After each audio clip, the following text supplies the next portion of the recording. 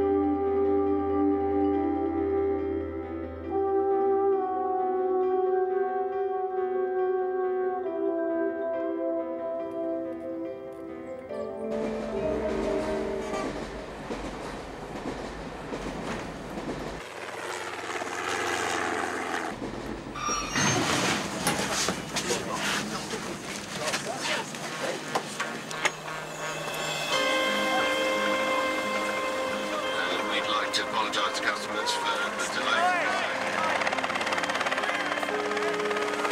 This service, which is due to the track, going up some steps. I'm constantly aware of the passing of time.